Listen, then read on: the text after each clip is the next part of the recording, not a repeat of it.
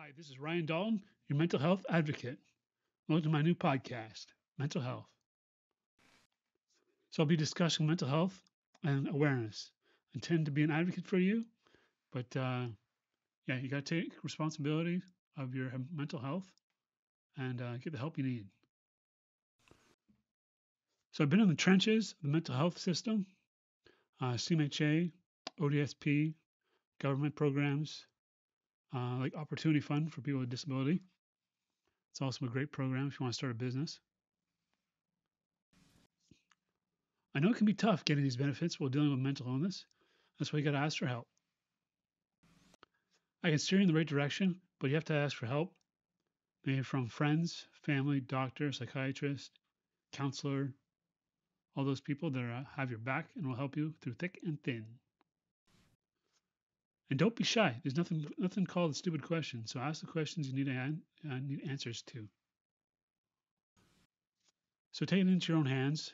Do some research on the internet, but take it with a grain of salt because often it's just doomsday, doomsday scrolling, and then just just, just come up with the worst possible um, scenario. So be careful, but uh, research anyways. So I intend to make this podcast bite size, believable and achievable uh, power packed, no fluff, all meat, and uh, have a comprehensive list. So rhyme off a, a checklist of things you have to do if you develop a mental illness. Reach out to family and friends. See your family doctor. Get referred to a psychiatrist. Start a medication regime.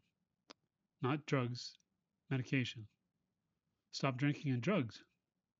Learn CBT, cognitive behavioral therapy. Get a counselor from CMHA if you live in Canada. Uh, stay on a diet. I personally gained about 35 pounds because I was on the medication, because of the medication. So, yeah, watch what you eat. Uh, keep your circle of friends close. The good ones will stick with you through thick and thin. Read self-help book, self-help books. Control your media and watch the good uh, good in, good out. Create a wellness recovery action plan. So it's your responsibility. Take control. Thanks for tuning into my first podcast. Please uh, like and subscribe for more content like this. Also, check my other videos on my channel about mental health, uh, ODSP, and all that stuff. Thanks, guys. Bye.